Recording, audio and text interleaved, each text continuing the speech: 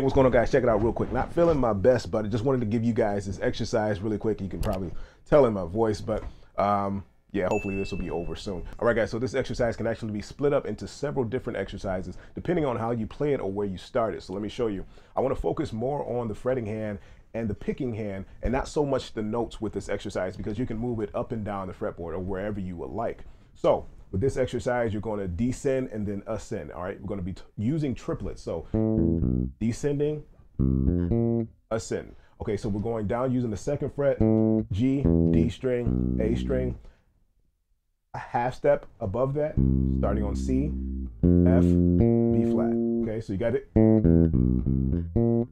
That's really all it is. And we're just repeating that same formula. Okay, so you see I'm using all of my fingers, all four of my fingers. So one finger goes with one fret, the next finger goes with the next fret, the third finger goes with the next, and then the fourth finger goes with that one. So the tricky thing about this exercise is that you have to kind of rock your fingers against the fretboard in order to get those notes out clean and clear.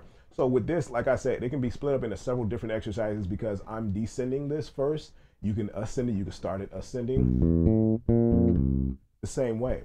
Okay, so first, what I want you guys to get is just with one finger. Just use one finger to do this whole entire exercise at first. So I'm gonna do, so we're gonna rake, use our raking technique here. So through the string, one, one, one. We're gonna climb back up with one, two, one, right? I'm gonna repeat the same exact thing with one finger here. So we're only going to use our fourth, our first finger.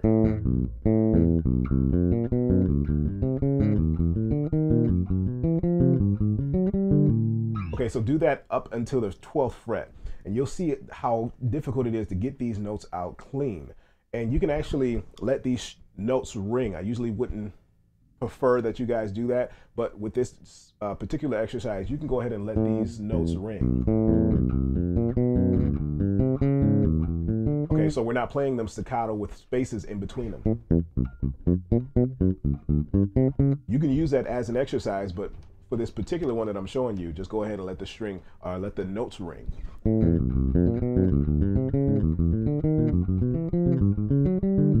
Okay, so very basic exercise. It doesn't really sound like a melodic lick or a melodic line. Uh, it's really literally just an exercise for dexterity with your picking hand. Okay, so you rake, rake, rake, one, two, one, two, rake, rake, rake, one, two, one, two. And if you descend, it's gonna be the, the opposite. So we have three different ways we can do this exercise. We did it with one finger first,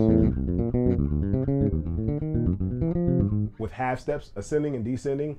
And then we did um, uh, with all four fingers, second finger, third finger, ascending, descending, just alternating between the two. And then remember guys, take this exercise and run with it. You can ascend first. The completely opposite, right? The complete opposite, not the completely opposite. But anyway, you guys get the idea, okay? So we have three different exercises, or even the one that I did in the beginning, the one to the four, one to the four, move that up half steps in, uh, half step increments.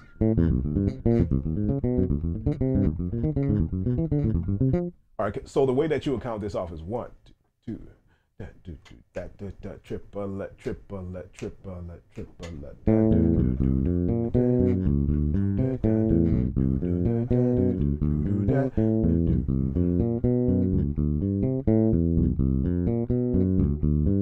that's the way that you would count this off. It's actually really simple. Take it slow.